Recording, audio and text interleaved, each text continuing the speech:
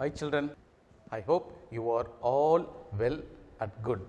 I am Thamo Yoganathan, your drawing teacher, Bharathidhasanar Matriculation Higher Secondary School, Arakkonam and Kaveripakkam. In this video, we are going to learn how to draw the things, how to draw the things. That one at home and share to make them more beautiful. Dear children, now let us start drawing.